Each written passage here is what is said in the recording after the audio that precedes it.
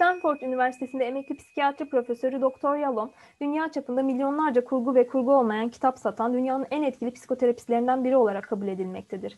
Varoluşsal konulara olan ilgisi romanlarının ve psikoterapiye yaklaşımının temelini oluşturuyor. En son kitabı bir otobiyografi olan Kendim Olmaktır. Bizi ağırladığınız için çok teşekkürler. Rica ederim.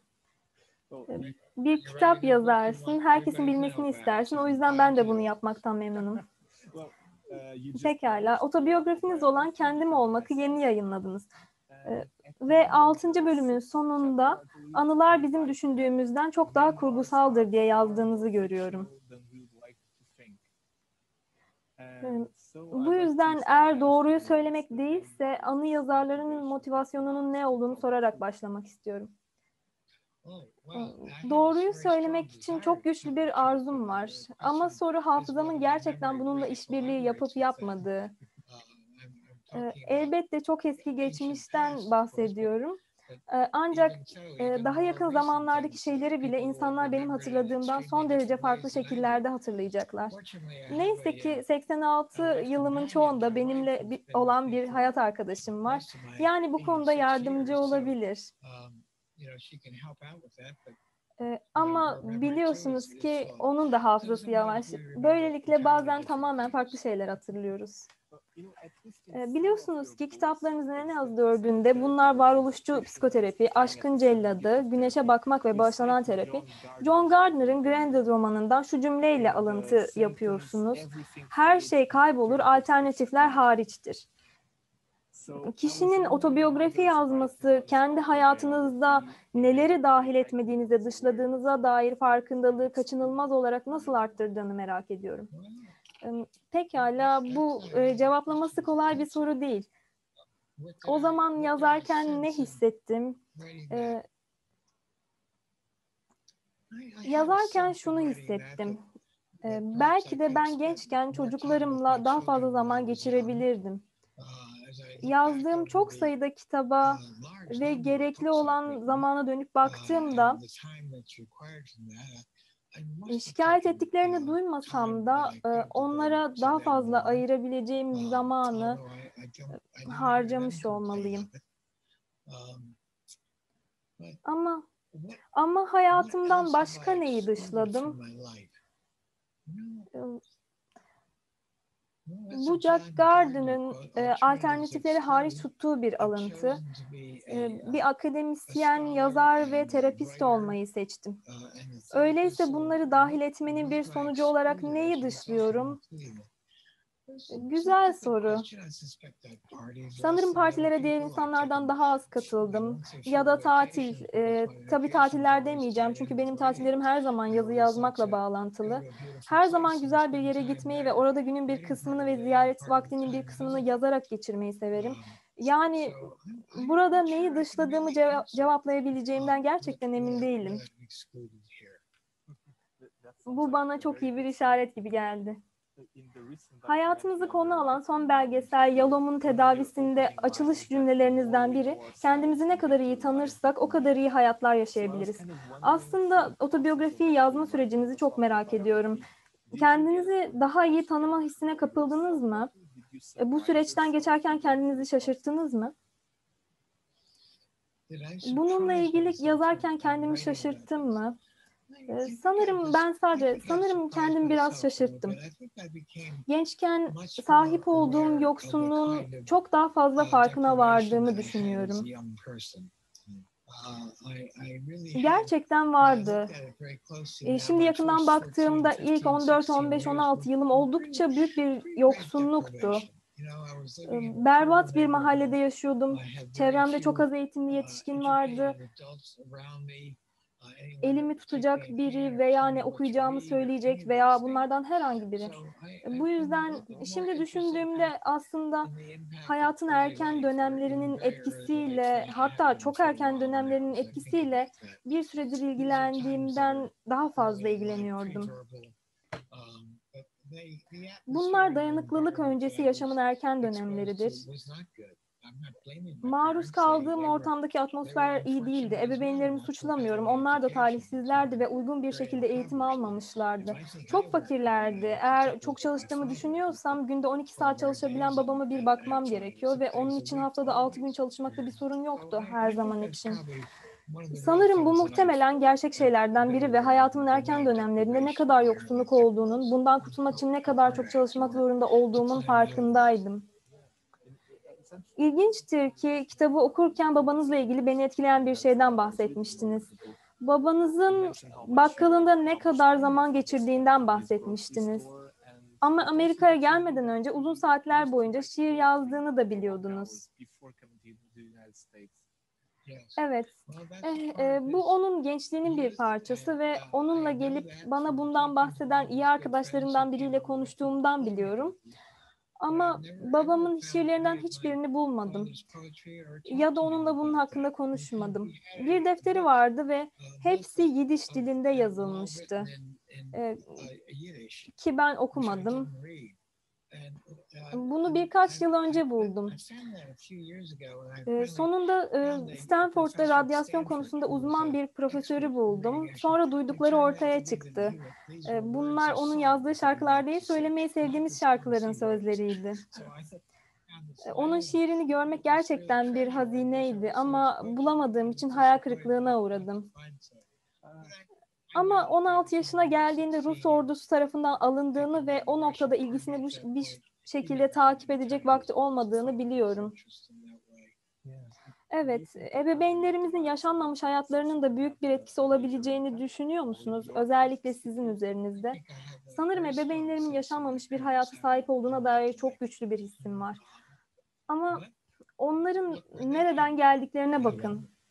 Yoksulluktan.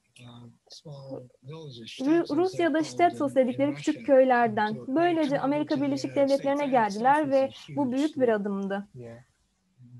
Ve sonra yapabildiklerimle çok gurur duyduklarını düşünüyorum. Ve aynı zamanda gerçek köklere veya temellere sahip olmadan nasıl büyüdüğünüz hakkında çok fazla konuştunuz. Bu doğru mu? Doğru. Kökler ve temeller yok.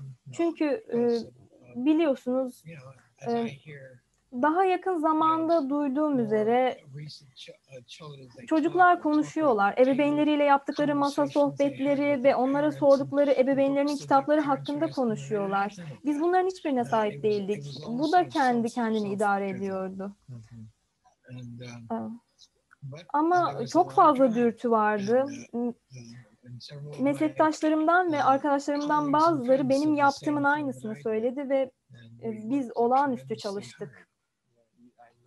Kitaptan hatırlıyorum da karınız Marilyn babasıyla olan anısını anlatırken bir şekilde nasıl hayatın ihanetine uğramış gibi hissettiğinizden bahsetmiştiniz. Doğru. Babası yarım nesil bir beydi. Yani bu ülkeye genç olarak geldi. Böylece gençliğini burada yaşayabilirdi. Opera dinleyerek müzikten zevk almayı öğrendi. Benim babamsa müziği çok severdi ve şarkı söylemeyi severdi ama klasik müziğe hiç maruz kalmadı. Alanım ve alanımın kökleri olan alanlar hakkında e, çok şey bilmek istedim.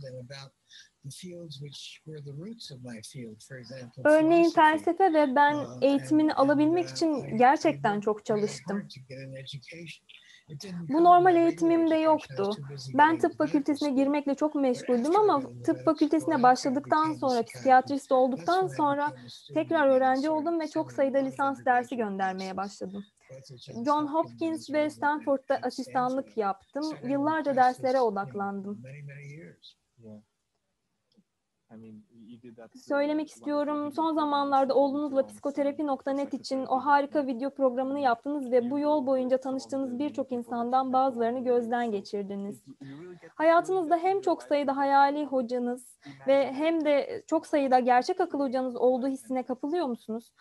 Bazen akıl hocalarına sahip olmadığımı düşünüyorum tamamen kendi kendine yaratılmış olarak. Ama evet, bu kitabı yazarken düşündüğüm gibi biliyorsun akıl hocaları vardı. psikiyatri asistanı olduğumu söyleyene kadar gelmediler. Bundan önce hiç akıl hocası yoktu. Tıp fakültesindeki maceraları düşünüyorum da lisans eğitimimde hiç akıl hocası yoktu. Öğretmen yok, benim adım yok, istediğim kimseye asla yakın değildim. Üniversitenin çok büyük sınıfları vardı ve orada hiç akıl hocalığı yoktu.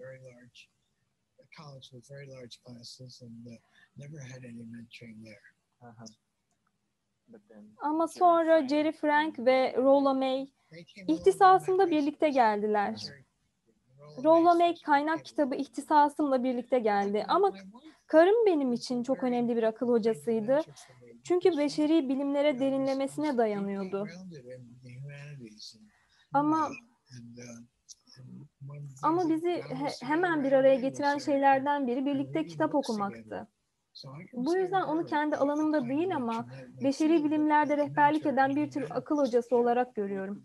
Psikoterapi uzmanlığınızın Merril'ine ne kadar borçlu olduğumuzu merak edebiliriz. Edebilirsiniz. E, Kafka ve Camus bunlar üzerine doktora tezini yaptığı kişilerdi. E, bu yüzden doğal olarak sürekli yazıp okuyan insanlarla ilgilendim. Bu gerçekten benim aşırı anlamlarla tanışmamdı ve Kafka, Camus ve diğerlerini okumaya başladım. Çok ilginç olan bir şey ve merak ediyoruz. Tüm bu etkileri barındırıyor olmanıza rağmen aynı zamanda herhangi bir terapi modeli veya yaklaşımı ile gerçekten ilişkilendirilmek istemeyen biri gibi geliyorsunuz. Bu doğru mu? Hayır, bunu yaptım. Ee, gerçekten herhangi bir modelle ilişkilendirilmek istemedim. Benim zamanımda maruz kalacağım ana model psikanalizdi. Anlattığım gibi kişisel analize 700 saat gömülmüştüm ve etkili bir çalışma olduğunu düşünüp kullanmak istediğim modelin bu olmadığını fark ettim. Yani bilerek herhangi bir kuruma girmedim. Kendimi deneme özgürlüğüne sahip olmak istedim. Kendi hayal gücümü ve becerimi kullanmamı gerçekten isteyen başkanla Stanford'da olduğum için e, çok şanslıydım. Bu yüzden her türlü farklı yaklaşımı denemekte özgürdüm. Günümüzde varoluşçu terapistler var ama bu fikre karşı karışık duygularınız olduğunu biliyorum, değil mi? İnsanlar size evlilik problemleri ya da başka tür sorunlarla ilgili geliyorlarken varoluşçu terapist olmanın ne kadar süreceğini anlayamıyorum. Bence bu varoluşsal faktörlerin çok önemli olduğu bazı hastalar var ama olmadığı başkaları da var. Terapi ge- genel hastanızla çalışmak için varoluşsal teori ve pratikten çok daha fazlasıdır. Etkili terapistler hakkında düşündüğünüzde ya da eğer terapistleri seçecekseniz arayacağınız tanımlayıcı özelliklerin neler olduğunu düşünüyorsunuz? Ee, Carl Rogers'a çok uzun bir yoldan geri dönüyorum. Alanımıza e, muazzam bir katkı sağladı. Ve terapide gerçekten önemli faktörlerin hasta ile terapist arasındaki ilişkinin doğası olduğuna büyük bir vurgu yaptı. Terapist üç şeye sahip biri olmalı. Ee, biliyorsunuz, e, hastaya pozitif koşulsuz saygı, gerçek bir empati ve onlarla olan ilişkisinde içten olabilmek. Sanırım bunlar güvendiğim şeyler. Bunlar hislerimizin önemli olduğu ile ilgili söylemeye başladığım şeyler. Ee, bunun hakkında çok konuşuyoruz bilirsiniz. Ee, deneysel olarak doğrulanmış araştırmalar ama hiçbir şey bu faktörlerden daha zorunlu olarak doğrulanamaz. Kardeş araştırmaları ve bu faktörlerle yazılan yüzlerce ve yüzlerce tez. Bu nedenle hastayla gerçekten yakın bir ilişki kurmaya istekli ve buna muktedir olabilecek birine benzeyen terapisti seçmem gerekiyor. Geriye dönüp kariyerinize baktığınızda gerçekten samimi olmanın ve terapide içten ilişkiler kurabilmenin ne kadar eğitilebilir bir beceri olduğunu düşünüyorsunuz? Eğitilebilir olduğunu düşünüyorum. Ama zaten buna sahip olan insanlarla başlayabilirseniz bence bir adım öndesinizdir. Carl Rogers bir noktada dedi ki bence belki de terapistler daha çok seçilmeli. Sanırım orada bu faktörlere sahibiz ama kendi çalışmalarımla çok değiştiğimi biliyorum ve bunu yapan birçok öğrencimi de gördüm. Fakat bu yüzden sürekli terapi konusunda harika bir sözcüyüm. Bence terapistlerin çok fazla kişisel terapiye ihtiyacı var ve bunun hiç bitmemesi gerektiğini düşünüyorum. Devam etmeli ve zaman zaman terapiye geri dönülmeli. Ya da ben bu uzun vadeli lidersiz terapi hakkında uzun uzun yazdım. Bunun hakkında ilk kez yazıyorum ama ne zaman bunun hakkında konuşsam bu terapistlere vermek istediğim bir mesajdır. Onlar için çok önemlidir. Mm-hmm. Ve aynı zamanda insanlar kitaplarınızı okuduklarında her zaman bunlar bir şekilde terapistler için mi sorusu dışında bir soru vardır. Kendi kitaplarınızın bir öz analizin parçası olduğuna veya kendinize yönelik bazı çalışmalar olduğuna ne kadar inandığınız sorusu ortaya çıkıyor. Güneşe Bakmak kitabınızın bir yerinde bugünü yaşama arzusu kitabınızdaki Julius'tan bahsettiniz ve size belli şekillerde yolu gösterdiğini söylediniz. Evet bu doğru. Bir soru sorarken karakterinizden bir şeyler öğrenebilir misiniz? Evet, evet ben öyle düşünüyorum. Belli karakterler yaratıyorum. O grupta yedi karakter ve nereye gittikleri hakkında hiçbir fikrim yoktu. Ama bu karakterleri yarattım ve sonra grupla ne olacağına baktım. Bilirsiniz karakterlerinizde birçok şekilde bazıları benim bu konuda alışılmadık olmadığımı söyledi. Birçok karakter onları başlatırsınız ve sonra kaydınızda ne yaptıklarını izlersiniz. Karen Horney'in öz analiz kitabını hatırlatmak isterim. Kendi kendini analiz etmenin sınırları nelerdir? Sınırlar vardır. Diğer insanlara ihtiyacın var. Geri bildirime ihtiyacınız var ve bu tüm çalışma grubu terapilerimden öğrendiğim bir şey. Bu arada çalışma grubu terapinizden bahsetmişken bu otobiyografiden sonra şimdi ders kitabının revizyonu üzerinde çalışmak isteyeceğiniz bir şey olduğunu düşünüyorum. Bu doğru mu? Son derece iyi bir işbirliği. Benim son baskımdaki işbirliği e, biz zaten başladık. Ama bunun son kitabın olduğunu söyledin. E, kalpten bir yazar bununla nasıl başa çıkıyor? Yani e, gerçekten duramıyorum biliyorsunuz. Fikirler buluyorum ve bunun doğru olacağını düşünüyorum. Ve şu anda biraz baskı altında hissediyorum. Çünkü oyunculardan, okuyuculardan gelen çok fazla e-posta alıyorum. Gerçekten bir şeyler yazmak istiyorlar. E, Psikoterapinin Evrimi adlı bu büyük konferansta orada ne yapacağımı bilmiyordum. Çünkü insanlar zaten anıyı okudu. Ben de kısa öykülerle gideceğimi söyledim ve bunları orada okudum. E, sanırım hikayeler yazacağım ama e, kitap haline getirme fikrim yok. Yazma sürecinden çok büyük keyif alıyorum. Yani insanlar hala biraz yazı bekleyebilir. Umarım. Bazı insanların kimi ilk çekincelerden sonra online terapi ve yazışma terapisi gibi bazı yeni gelişmeleri benimsemeye başladığınızı öğrenince şaşıracaklarını düşünüyorum. E, zamanımız azalıyor ama e, son derece olumsuzdum ve tüm gelişime koordine değildim. Çünkü yakın ilişkinin doğasına çok fazla vurgu yapıyorum. Ama bazı insanları gözetip denetlemek için çağrıldım. E, merak ettim, araştırdım ve e, sonra birkaç kişiyi denetledim. Bunu uzun süredir yapıyoruz ve e, benim yaptığım türden bir terapi olmadığını görebiliyorum. Fakat bundan bir şeyler alan insanların olduğu göz ardı edilemez. Bu yüzden e, bu tür bir yazışma terapisi hakkındaki tüm görüş alışverişlerini okudum. Terapi metninin tamamını. E, insanların bazı şeyleri değiştirdiğini görebiliyorum. Bazı şeylere değer veriyorlar. E, bu tam olarak benim tarzım olan terapi değil ama bu böyle. Fakat ilginçtir ki denetlediğim insanlar da hastalarla olan e, hastalarla olan ilişkilerini kullanan insanlar.